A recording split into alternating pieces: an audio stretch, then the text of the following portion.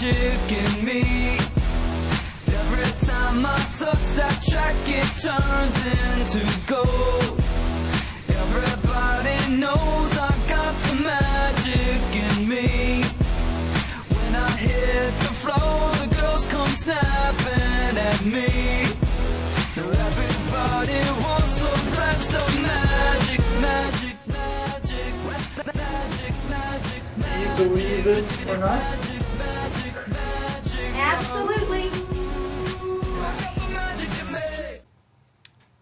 Welcome to this week's edition of Do You Believe It or Not? Absolutely. I'm your co-host Abby Malco. I'm your co-host Tanner Lee. It's episode number 13. As you can see, Tanner is here with us today because he tried to go to a Ben and Jerry's, but he ate too much ice cream. He took more than his three pints for his daily serving, so he got fired. It's very true. It's too good not to take more than three pints. I mean, you three Good pints of thing free ice came cream. back to us, otherwise I'd be here by Yep. myself. I was asked to leave and take my uh, e- um, ice cream eating talents back to Rochester, Indiana. So See what you can do with here that. I later. am. So, um, Abby, I think you should start us You want me to start week. this time? All right. My first list will be the five common nightmares that we all have. Ooh. So this is nightmares that everybody suffers from. You can tell me if you've ever had this dream or not. Number five is everybody has a nightmare about their teeth falling out. Don't believe I've ever had a nightmare about my teeth falling out. I think I've had nightmares of like being hit in Mhm. the teeth and like, oh, there go my two front teeth, like But that. not That's all not. of them. No, not all of them. But the reason that people have this nightmare is because they fear mortality. Really? Yes, that's that's the subconscious science behind the dream. Number four, being unprepared for a test. Yes. Has that ever I've- happened yeah. before? Yeah. I'm pretty much unprepared for most of my tests. I usually dream like we always have like to time our miles for like softball Indiana State and like you have to get up at 5 a.m. the next morning so of course you never sleep the night before and I always either dream that like my clock is like Mhm. spinning out of control or that like I passed it in like five minutes or whatever and I wake up thinking that I'm done and Mhm. I'm like dang it so Yeah. that's kind of yeah like Yep. a test Yep. so I feel like everybody's had one of those dreams number three falling from a high place Yeah, I think everybody's had those. I'm And- falling into like a black sky. It's Mhm. never ending. and then but usually you wake up before you hit Yeah. Because they say if you die in a dream, then you wake up. Well, you don't wake up because you're dead. So I don't. I don't know. Well, like I see whenever I'm falling, my body like twitches. Yeah. I really like wake up. Well, and, and like the Sure. subconscious science behind that is that falling from a high place means that you're like nobody likes to lose control, and when you're free falling into darkness, you don't have any control. So I guess if there's like something in your life you don't feel like you're controlling, then you'll dream about that. ah, that makes sense. Mm-hmm. Interesting. There was one time that like I dreamed of like having like there was a fire in my dream like three nights in a row. I had like dreams about fire, and I looked it up in like a dream book, and it said if you dream about fire and like a dangerous like atmosphere, then that means you're like really upset or worried about something in your Hmm. life. That's really so interesting. maybe I know maybe dreams tell you something. Number two, everybody dreams about being locked up or trapped. Have you ever had that one? Not that I can remember, but I probably have. Or the dreams where you're like needing to sprint away from something and like your body doesn't Yeah. move. That means that you're regretting life choices. Ooh. So maybe you ate too much Ben and Jerry's ice cream and Never. you regret that. Never. You'll have a dream about being locked up. And the number one nightmare that everybody has, or most people have, is public nudity. have you ever had that dream? I think everybody has probably. I don't know if I. I've never like dreamed that I was in my underwear in public. I've just never That's like not nudity. had that terrible dream. Nudity's like nothing on. But yeah, I've never had either dream like Alright. just being out in public. But that that means that you are feeling vulnerable or like you're hiding something and you're scared of being found out. Wow. That's why you dream of public nudity. No, I've never had that dream. So now if I ever have a dream with any of these things, I know what they mean. You mean. know what they mean, yes. I Or like Google what they mean. Maybe it's true, maybe it's false. Either way, it made me feel better after I Googled mine. I like that. I like those, Mm-hmm. that list. My first list of this show is three future, fu- futuristic ways uh, we're going to de- defeat summer, like the summer heat, the su- summer weather. So we will beat summer.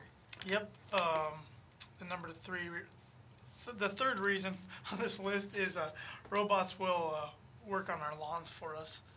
Ooh, that's good slash bad because Like I know young kids like to have like mowing businesses.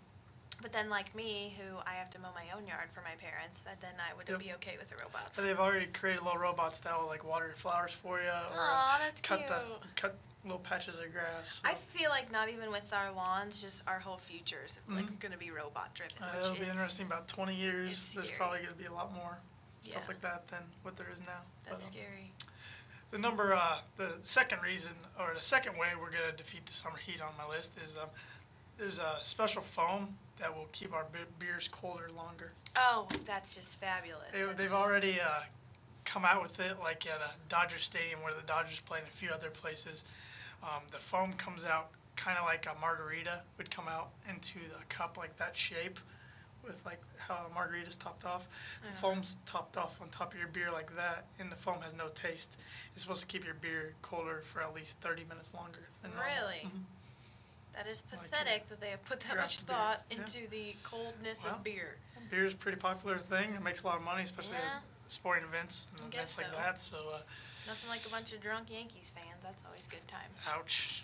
a drunk Yankees fan's better than a drunk White Sox fan because at least we're winning games. Right, right, right. And uh, number one way we're going to defeat the summer in, in the future is um, we'll soon uh, be able to ward off mosquitoes with a magic patch. Woo! I hate mosquitoes. There's a patch they're um, testing right now. It's called the kite patch. And the way it works is you put it on your skin, and it uh, releases chemicals that mess up with the mosquitoes' uh, carbon dioxide receptors. The mosquitoes actually fly right past you. so they don't even know you're Yeah, there. they just kind of fly. Because that's so much better. Shh, Mhm. nasty Sticky- off. Yeah. Sticky off. Then which you, smell to, like it. I know that they've like made improvements to it, but still, it's just the fact Still that oh, got the mosquito spray. Yeah, exactly. That would be nice. So, Slap a patch on there. All right, my second list is just a five fun fact list. Fact number five.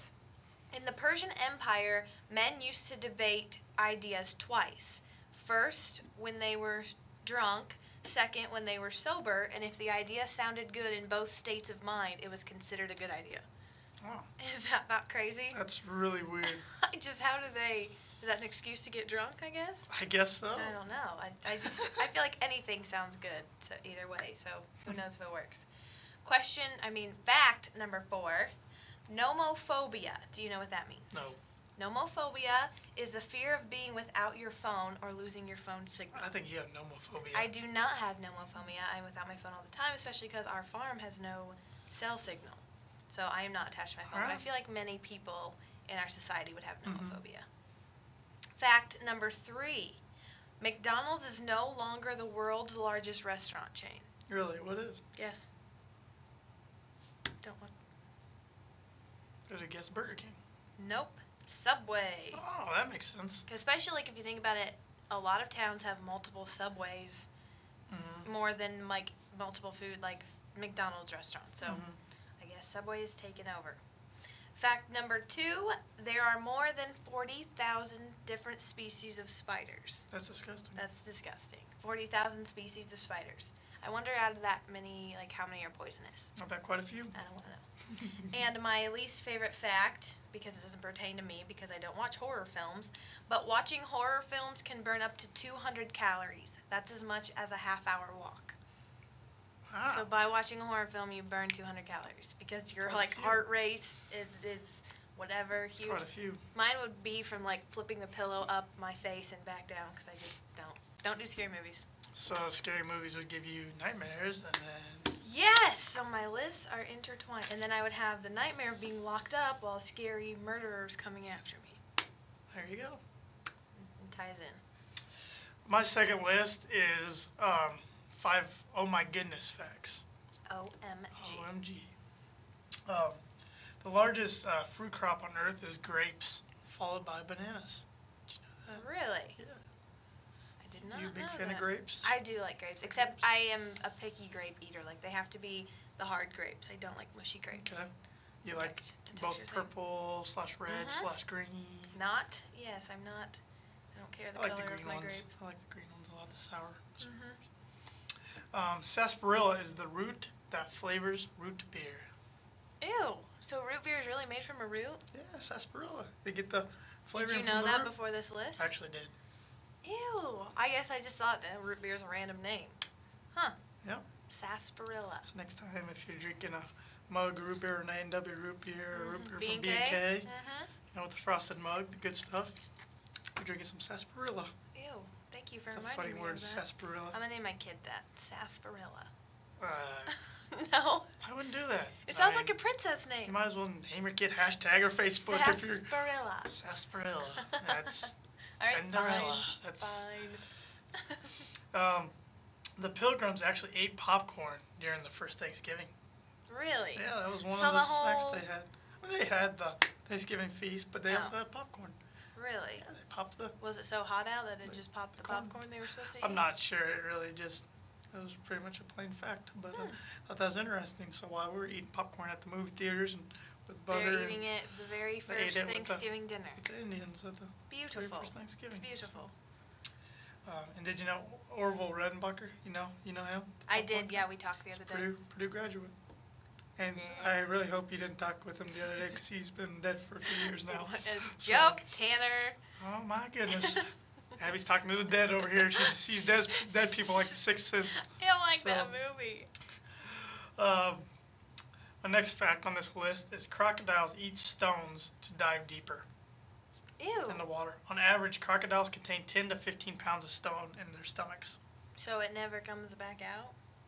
I don't know that much information. Don't really well, want no, to but know. listen, but, uh, listen. Like, if I have, I eat a stone to dive, then I'm gonna want to get rid of it so I can go back up. So, like, do they throughout their lifetime do they just keep going deeper into the water and they don't come back up as quickly? You're gonna have to ask a crocodile expert or something. later. I mean, uh, that makes sense though. They keep the stones in their stomach so they can Yeah. dive deeper and get their prey or whatever and hide. But I at the bottom. maybe their arms get stronger when they swim up. I'm sure they have a lot of different stomachs than we do. Yeah, So, yeah, whatever. I mean, and my last, uh, oh my goodness, fact of the day is Canada almost joined the United States in, in the year 1777. Really? Yeah, the so whole the country. entire continent Almost joined the United was States. almost just the United It States. It actually got pre-approved by some uh, um, political members of the United States, but for some reason it never came intact. Hmm. And then there was a couple wars in the 1800s, and yeah. Canada's always neutral. They wouldn't have done all the wars we've done. Yeah, but They're um, a nice country. At least we think so. Some Americans really don't like them, but uh, Oh, I don't have a problem with them. I don't. I don't have a problem with anyone except you, actually. Ouch. Very ouch. So. Just um, kidding. You had a good list. Thank you. Oh my goodness, list was So, good. um, like always, if you have a list that you'd like to see of your own on our show, please contact our email, which is channel4 at rtcol.com. or like always, call RTC at 223-2191. And now Abby's got to go write her own book on what dreams mean and all about her dreams she's had throughout her life. So, uh, I will let you know when I publish it. Check it out. We can we can even bring it on the show there if I could probably be some very disturbing dreams on there. You might want to keep it away from uh. As long as I know the scientific behind it, that's from people that that get scared easy. But if you have any dreams, questions about your dreams, here's your Let me dream know. expert right here. Let me know. Abigail Nicole Malco. We will let you know next show how that goes. Thanks for watching.